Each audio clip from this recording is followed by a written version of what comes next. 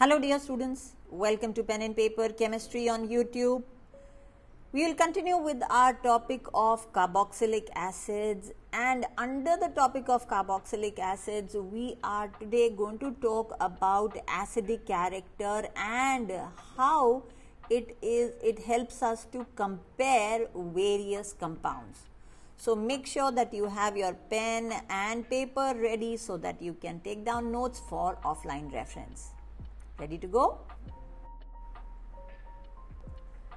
Earlier, we've discussed quite a few properties of acids which are in general shown by all acids, whether mineral or carboxylic, of which the four prominent ones are the acids reactive, rea, uh, sorry, react with active metals to liberate hydrogen, acids react with bases or alkalis to form salt in water only, the reaction being known as neutralization. Acids react with carbonates or bicarbonates to give a gas known as carbo- carbon dioxide and you will also observe brisk effervescence over here. What's the test for carbon dioxide? Can you tell me?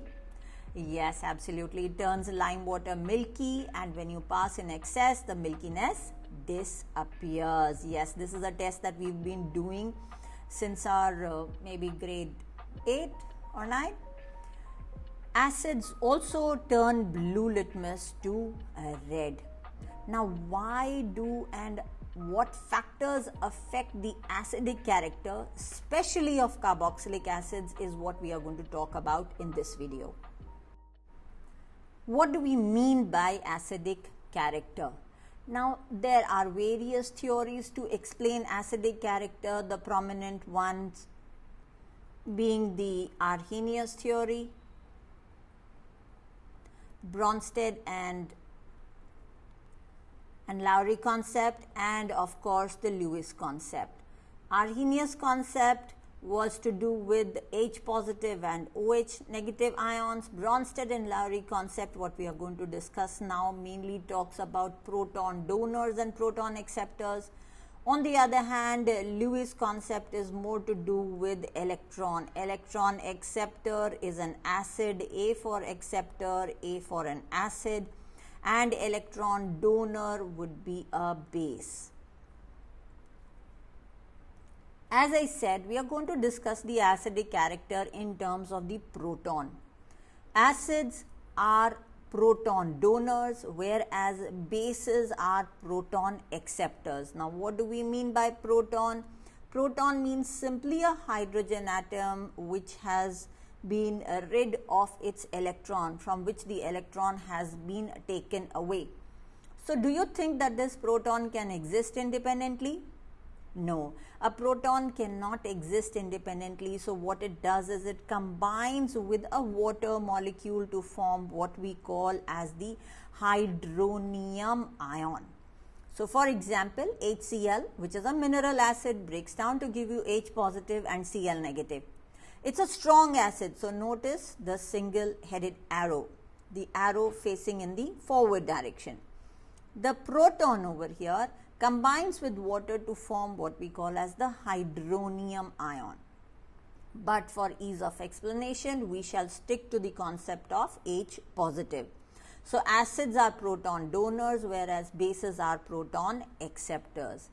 In other words, the two equations that I have written over here, I can combine them to give me a, a single equation HCl plus water gives me H3O positive plus Cl negative. The H positive released by HCl is caught by water. Now, just now we said HC, uh, uh, sorry, acids, Bronsted acids are proton donors. In other words, HCl is donating its proton. In other words, it's a Bronsted acid now in turn it forms something which is happy to take up proton. So in other words my Cl negative is a base. The combination of HCl and Cl negative they are mutual acids and bases. That is why Cl negative is known as the conjugate base of HCl. In short, we denote it as CB. So, HCl and Cl negative are conjugate acid base pairs. How do you determine the conjugate acid base pair? Simply add H positive or remove H positive. So for example, if I give you HSO4 negative and I ask you to tell me what will be the conjugate acid of this and what will be the conjugate base of this. Correct. Conjugate base means I am asking you to treat this as an acid. So what will be the conjugate base? Simply remove the proton SO4 to negative. So this becomes the conjugate base. Now, when I'm asking you the conjugate acid, in other words, I'm asking you to treat HSO4 as a base, in other words, something which is taking up a proton in order to turn into an acid. So, you will have H2SO4. Interesting so far? Now, what you have to do in order to ensure that your learning is consolidated and well in place Please make sure that you write all of this down. Please write it down so that you have notes for offline reference. I will keep the screen live with the notes written on it so that it is easier for you to pause and take down the notes. We are now going to extend our learning uh, of these acids to weak acids. So, for example, a carboxylic acid RCOOH. Now, this will also have a tendency to donate a proton. So, in other words, it is going to lose this proton in order to form RCOO negative, what we called as carboxylate ion, if you recall our earlier lessons. Now, this carboxylate ion, in turn, the proton from here so the proton from here moves to the H2OO. It's the O moving along with it. So the H from here moves to the water and we will have H3O positive. In other words, again, what do we have? A conjugate acid base pair. Similarly, let's go back to what we did earlier. Now, water is taking up a proton. When it is taking up a proton, in other words, it is forming an acid. It is itself acting as a proton acceptor. So, water accepting proton forming H3O positive. In turn, the H3O positive can go back to form water. So, again I have a, an, a conjugate acid base pair where water is the base and H3O positive is the acid. This is the Bronsted and Lowry concept of acid and bases. Now, as we said, we are going to extend our concept to weak acid. So, again, what we have here RCOOH, it is acid losing a proton forming carboxylate ion, water gaining a proton forming H3O positive. Again, conjugate as sorry, acid, conjugate base, base and conjugate acid.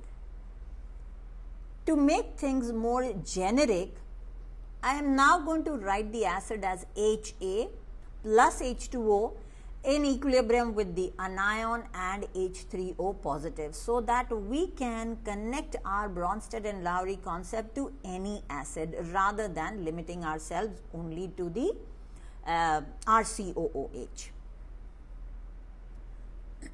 Now here if you notice the arrows here, this is a dynamic equilibrium. In other words, the acid and the water are changing into the conjugate acid and base, and they in turn have a tendency to turn back into the unionized acid and the water molecule. So, that means there is an equilibrium.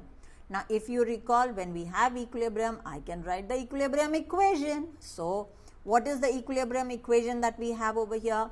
It will be the concentration of the products divided by the concentration of the reactants. So, look at this equilibrium expression again RCOO negative H3O positive divided by RCOH and water. Be very careful about the square brackets that we have used. They indicate concentration in moles per liter or moles per decimeter cube. That's why the square bracket. So make sure that you put them in place. Now here since water is uh, going to be almost constant what we do is we to multiply the equilibrium constant with the concentration of water which is kind of constant and we get another constant over here. So, I have RCOO negative H3O positive divided by the concentration of the undissociated carboxylic acid.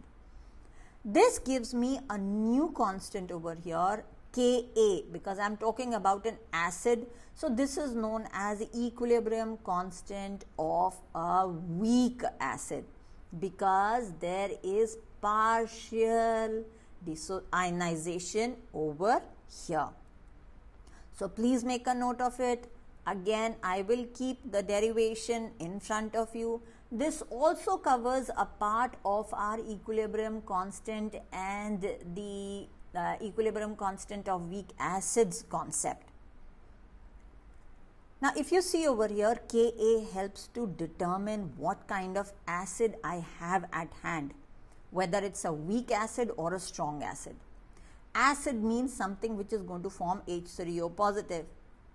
If my numerator is bigger, that means my Ka value will be higher when does my numerator become higher? When my H3O positive concentration is higher. In other words, there is higher formation of this H3O positive.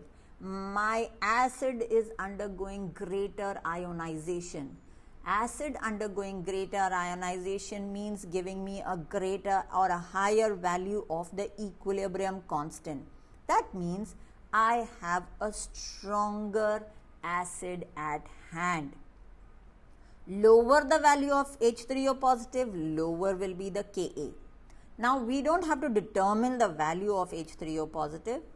Just by looking at the Ka values, we are able to determine whether the acid is strong or weak. So, look at these values which I have jotted down for you. Look at uh, HCOOH which is formic acid or methanoic acid Ka value is 17.7 into 10 to the power minus 5 acetic acid or ethanoic acid is 1.75 into 10 to the power minus 5 so if I just ignore the exponential values which are same you can very clearly see that formic acid is uh, 10 times more acidic than acetic acid or ethanoic acid roughly. Same way, compare fluoroacetic acid. This is 260. Again, if I ignore the exponential value because again it is the same 10 to the power minus 5, you will find that fluoroacetic acid is even more acidic uh, than acetic acid. Now, dealing with these kind of exponential values is not easy. It gets confusing. Now here I have put all the exponential values in 10 to the power minus 5. Supposing you have to deal with some values as 10 to the power minus 7, one is 10 to the power minus 5, the other is 10 to the power minus 9. Honestly, I get confused. So, I would like to clear this confusion for you by introducing a new concept and which we will call as pKa. More of that in the next video. Stay connected, stay tuned. See you there.